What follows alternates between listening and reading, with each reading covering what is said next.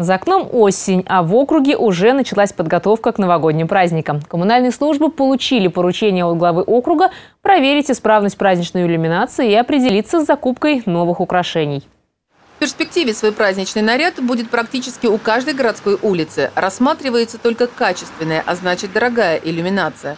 Так что принцип «мы не настолько богаты, чтобы покупать дешевые вещи» никто не отменял, отметила на планерке глава округа. Вместе с Сестрорецким парком, улицей Гагарина в прошлом году блеснул оригинальными светильниками и Бородинский проезд.